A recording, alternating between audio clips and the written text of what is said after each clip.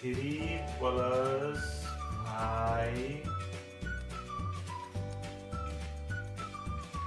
daddy three plus five कति हुन्छ ठुक्क त छोरालाई बोर्डिङ पढाएर यस्तो छ त पाँच प्लस तिन कति हुन्छ थाहा छैन जा गरेर क्यालकुलेटर लिएर आइज मैले नि हिसाब गर्नुपर्छ